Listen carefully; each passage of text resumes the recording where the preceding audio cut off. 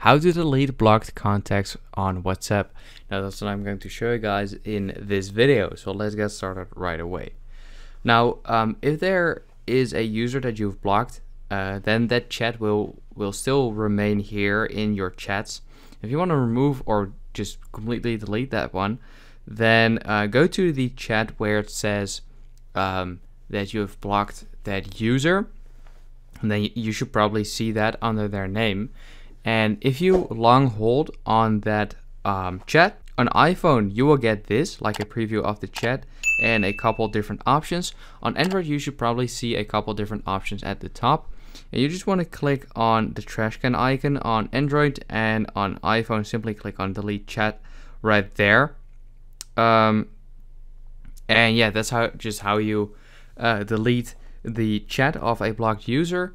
Um, and that's about it. And after that, you can also go to your contacts and remove that phone number uh, from your contacts as well.